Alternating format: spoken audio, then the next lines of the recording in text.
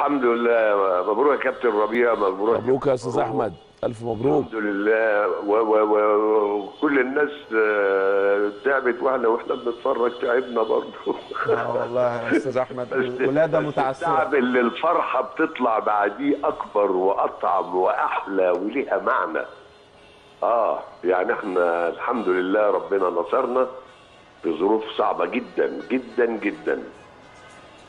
أستاذ أحمد عايز أقول لحضرتك لو لو لو اديت كده عنوان لفرحة مصر النهارده والولادة المتعثره والصرخة إحنا في صرخة حصلت إن إحنا نطلع لكأس العالم. ربنا نصرنا لحاجات كتير الشعب محتاج يفرح أستاذ أحمد.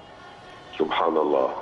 شوف هو من ماتش أوغندا وغانا كانت بشاير النصر بصراحه كان ربنا رايد لنا سبحانه وتعالى إن إحنا نصل إلى كأس العالم. لدرجة إن خلاص يعني ثلاث أربع دقائق والماتش ينتهي وما في وخلاص يعني بس والله لم يتسلل الإحباط إلينا. أنا ومحمد الصاوي زميلي وهو بيتفرج معايا اللي قعدنا نضرب في بعض ونبوس في بعض. ما, ما تسللش اليأس لحظه وبعدين نيأس إزاي؟ وإحنا معانا ربنا سبحانه وتعالى ومعانا لعيب اسمه محمد صلاح وعشرة زمايله والاحتياطي كلهم بيحبوا تراب هذا البلد والجمهور العظيم اللي كان بيشجع وحاضر واللي في البيوت واللي بيدعي واللي بيصلي. فكان آه، يعني ربنا سبحانه وتعالى آه، هو الجمهور يا أستاذ أحمد هو الجمهور اللي بيصنع الفارق آه. مع يعني محمد صلاح والجمهور الصراحة الجمهور ده طبعا. هو اللي خلى بعد يعني بعد ما استقبلنا هدف التعادل وصدمته التشجيع الكبير هو اللي رجع مصر مرة تانية للماتش.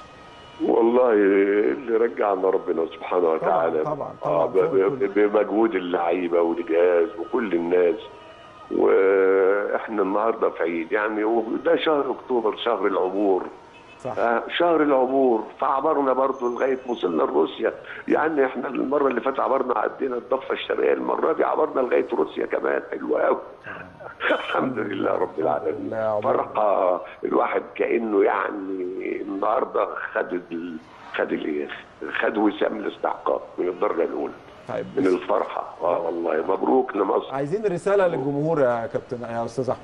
انت كابتن برضه بقول. بقول للجمهور العظيم ده اللي بيحب بلده واللي راح شجع وقعد واتفرج وانتهى الماتش وكله بيبوس بعض وبيحب بعض ويسلم على بعض.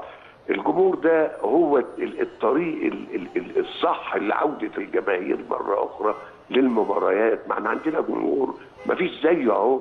نحضر بقى المباريات بتاعة الدوري يبقى في جمهور. عشان ده هيسخن اللعيبة أكتر وهيطلع النجوم كتيرة و- والكرة تتقدم والصورة الحضارية اللي هم ظهروا بيها في المنتخب تظهر بقى في المباريات بتاعة الدوري. واللي يكسب مبروك واللي يخسر يقول له عرضك وكده. يعني لازم يبقى عندنا آه، آه، حب ال- ال- ال- ال- البلد بصورة عملية مش بالكلام.